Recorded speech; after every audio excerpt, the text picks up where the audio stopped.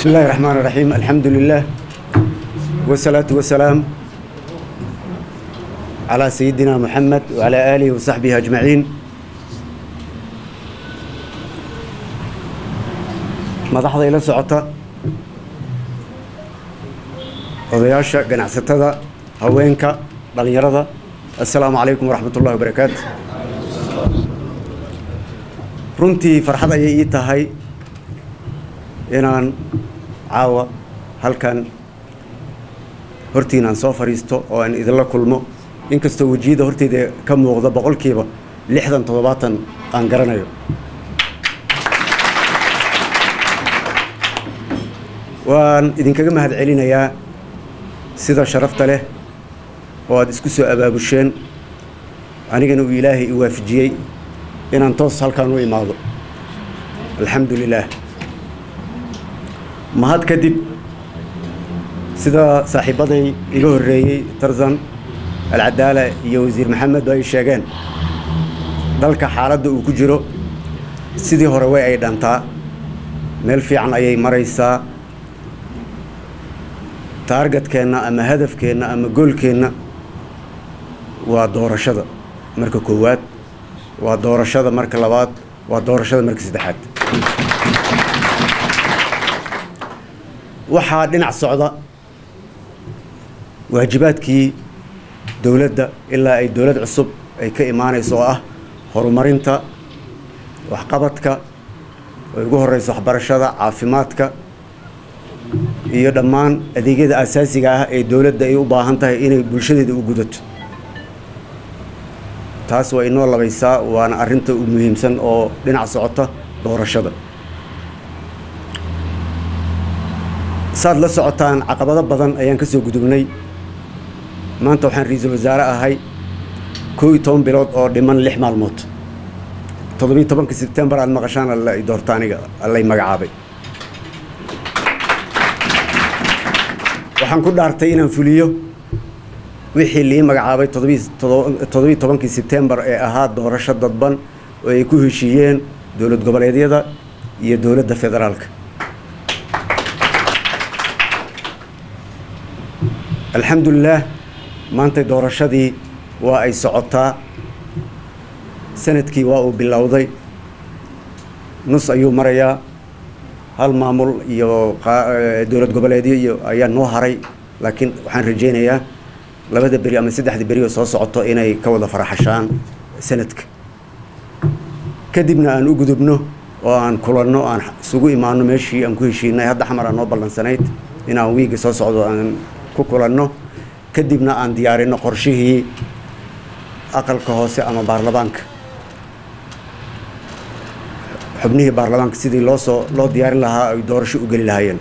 Aan ku wada heshiino waana iswada ogol iyo is-aaminaad iyo isla socod ayaanu ku heshiinay.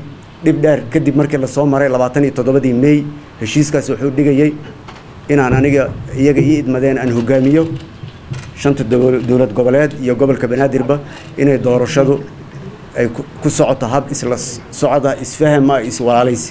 Sidii aan ku wadnaa dhammaanteen. Insha allah ninkii hadday su'aali weydiiyaa jiro maxay doorashada loo dadejin la-yahay waxaan ku wadnaa xilli adagaa la soo maray. Hadda xilligii maaha labada kun iyo lix iyo tobankii hadda waxaa lagu jiraa labada kun iyo kow iyo labaatanka caqabadaa dhacay dhibaatooyinaa dhacay waxbaa la kala tirsaday. Dalka xaalad adag ayuu qarku u saarmay oo ah in civil war ama dagaal sokeeyo dib loogu noqdo. Saa darteed waxaan ku wadnaa isla ogolkii hal qof kuma degdegayo laba qof kuma degdegayso. Waa in laisla socdaa oo laisla ogolaadaa waxna heshiis lagu yahay.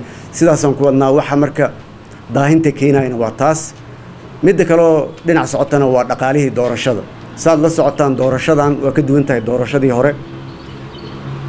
Degmooyinka halay ahayd labada kun iyo lix iyo tobanka hadda waa labo. Dadka guddiyada wax dooranaya waxay ahaan jireen konton iyo kow maanta waa boqol iyo kow. Marka wax kasta waxay noqdeen labalaab soo maahan? Marka waxaa loo baahan yahay taxadar iyo in si miisaaman looga fikiro dhaqaalaha ku baxayo. Lacag waxaan ku qiyaasnay labaatan iyo lix milyan ah. Weli inteeda badan nooma soo xaroonin.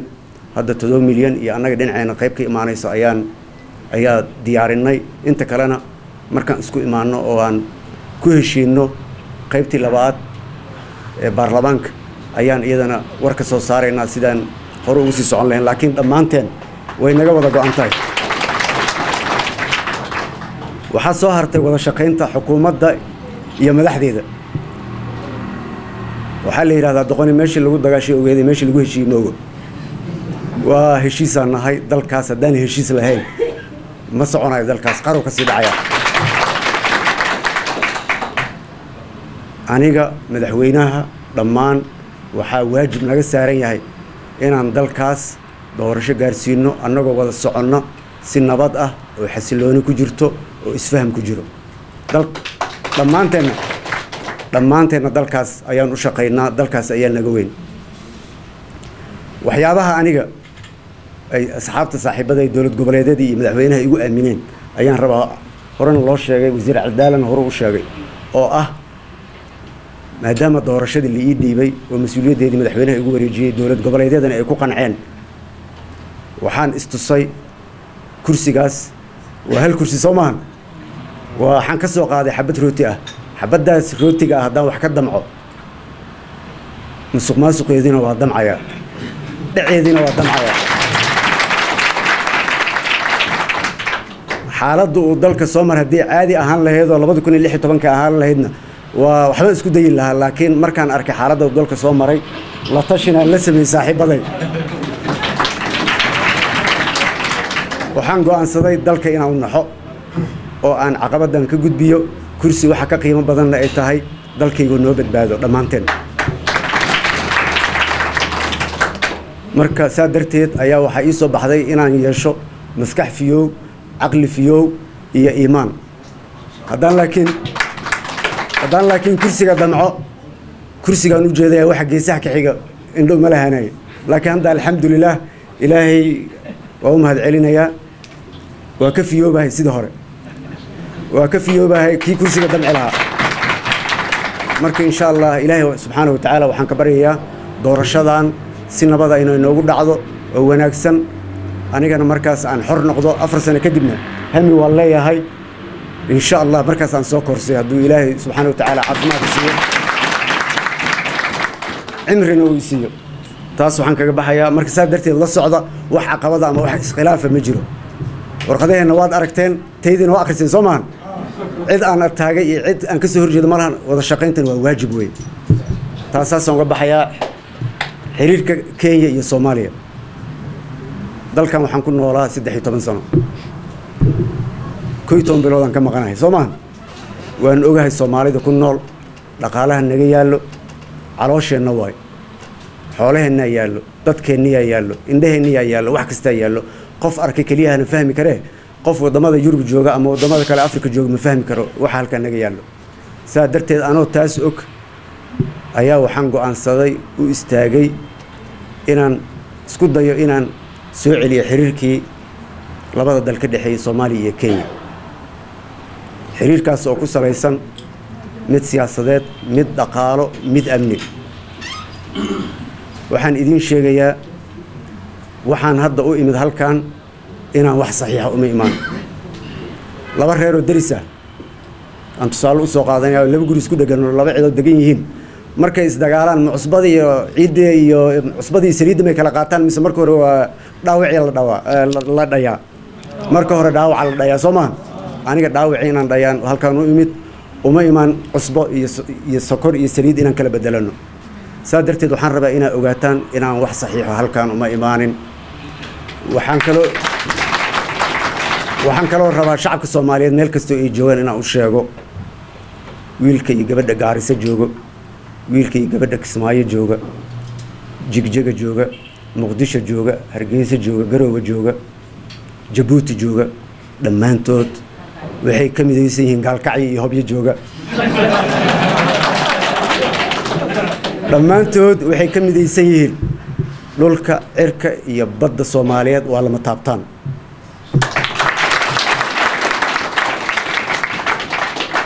Maanta igama filanaysaan berrina igama filanaysaan. Heshiis bad oo heeg yaallo oo maxkamadda adduunka taallo oo dhowaan aan sugayno jawaab inay ka soo baxdo. Ka hadalkeeda iyo mana bannaano mana ii bannaanaan doono. Jawaabtaasaan sugayna madaxweyne uhuru saaxiibkay walaalkay saas hortiisa uga sheegay. Lama gamban isagoo ay hor fadhiyaan saas ugu sheegay. Waa lama taabtaan meeshaas ayaana jawaab ka sugaynaa. Laakiin shacabka soomaaliyeed waxaan u sheegayaa waxyaabaha saaxiibaday labadan beri alcadaala maxamed wasiirka arrimaha dibadda afar iyo siddeeddii saac iyo macalimow naftaa laga qaaday si ay u difaacayeen war wax ma saxiixin wax ma yeelin soo maahan cid wax saxiixda ma taa ogaada cid saxiixi doontana ma lahan. Intaan joogana hadduu ilaahay awooddaas siiyo cid ku xadgudbaysa ma lahan. Wixii ilaahay naga siiyo heeg ayaan arkaynaa jawaabteeda markaas.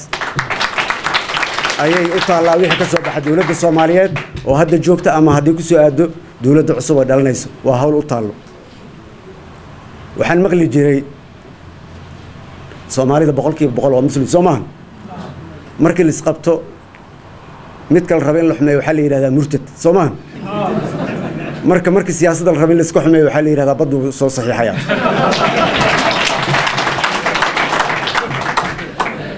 cid badda cid badda saxiixi karta ma lahan. Cid ku dhiiran karantana ma jirto. Aawey ree ahlu qaad. Meeshaan qaad uma imaan ani. Waxaan u imid in guddigii la soo celiyo oo corporationka ahaa oo ka hadlaya labada wada qabsiga labada dal soo maahan wixii ka soo baxo ama qaad ha ku jiro ama shaqaalaha kenyaatiga ee u n-ka xamar ka shaqeeyo faa'iidada ka helo ama iskiiladka guryaha noo dhiso ama soomaalida idinka ku jiro ka soo baxo iyagay u taallaa wixii la guddigaas waa wax hoose wasiiradaa u daayay wixii ka soo baxo iyagaa go'aankooda iska leh. Aniga wixii nabadayn ah wixii siyaasad ah xilligii iyo haray waaba gaaban yahay waa laba bilood ama saddex bilood inuu nabad ilaahay igu dhammeeyo igu soo duceeya shalay markaan madaxweyne uhuru la fadhiistay waxyaabahan ka wada hadalnay waxaa ka mid ah in dalku dal isku socodka viisada la fududeeyo oo aada loo sahlo oo laga dhigo on arrival ama qofka markuu yimaado inuu helo. Waxyaabahan codsaday ka mid tahay.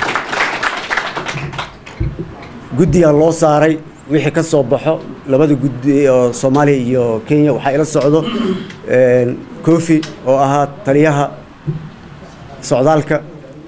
Dhigiisa waa loo bellamayay maantay kulmayaan oo malaynaya. Waxa ka soo baxo insha allah khayr inay noo noqotaan rajeynaya wixii ka soo baxaan ku gowracnay cala waxaa kaloo jirto aan u sheegay dowladda kenya. Ciidankeeda wuxuu ka mid yahay amisom. Soo maahan maandeeday ku joogaan waxay la dagaalamayaan argagixisada.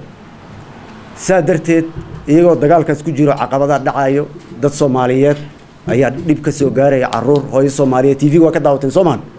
Intii dhimata allah u naxariisto intii dhaawacna allah ka bogsiiyo. Hanti qaran oo anteenooyinkay ka mid yihiin hanti dadweyne oo anteenooyinkay ka mid yihiin ayaa ku baabaa soomaan. Waxaan kaloo ogeyn iskuulaada ku baaba'o isbitaalaada ku baaba'o waxaasoo dhan in laga hortago ayaan ka wada hadalnay waxaan istusnay maadaama laba dowladood aan nahay ciidamada soomaaliga ah somali national army iyo ciidamada kenya oo k d f soomaan hadday wada shaqeeyaan oo ay isla socdaan in dhibka uu saa ka yaraanayo cadowgana ay la dagaalami karaan.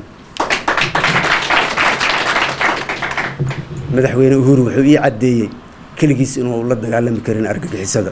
Haddaynan soomaali garab siinin oo aan laga guulaysan cid ka guulaysanaysa malahan. Saa darteed waa istusnay labada dhinac. Wuxuuse aada u hamiyey haddaan la wada dagaalanno in sida ugu dhaqsiyaha badan ciidamada kenya ee dalkeena ka soo baxayaan iyagoo nabad qabo oo fiyow dalkooda iyo guryahoodana ay si nabada ugu soo noqon doonaan. Annagana aan awoodeyna la wareegi doono. Insha allah waxaa idinka rabaa annaga siyaasiyiinaan nahay. Hadal ayaan wax ku farnaa laakiin ficilka idinka iska leh. Waxaan halkan u joognaa inaan danahiinna difaacno danihiinna markaan leeyahay waa midda dhaqaalaha waa midda shaksiga ah. Ma rabno in cidna lagu xadgudbo ma rabno in dhaqaalaha soo soomaali leedahay loo awood sheegto. Wax kasta waxaa noo jooga safaaradeenna xiriir fiican yeesha isgarabsada dhaqaalo uma hayno dalka safaarada kasta ku maamulno garab istaaga safaaraddiinna iyadana se idiin difaacdo arrimihiina ay wax uga ogaato isgarabsada. Haddaadan isgarabsan cadowga nimba maalinba meel buu ku cunayaa marka isgarabsada annagana cod dheer iyo cod gaaban baa ku sheegaynaa inaan idin garab taagannahay waana meesha ugu muhiimsan soomaalida dibadda joogto waa soomaalida kenya joogto. Aad ayaan u mahadsantihiin wasalaamu calaykum waraxmatullahi wabarakaatu waxyar ogeysiis ka baxsan arrin- arrintan. Ogeysiis. Fursaday ku tahay soomaan markaan tukanahayey ninaan isku cagnahay ayaan kabtiisa midig soo qaatay